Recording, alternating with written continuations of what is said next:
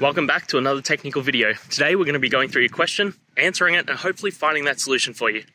Guys, remember to stay just a little bit crazy like me, and hopefully you get to that resolution. Now, let's continue on to the video.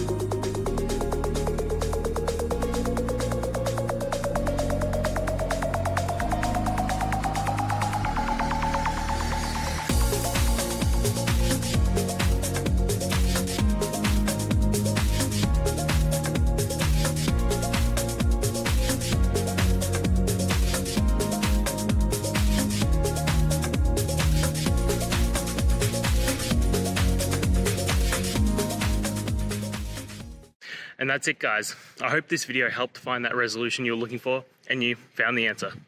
Guys, please hit subscribe if it helped, and I'd really appreciate it.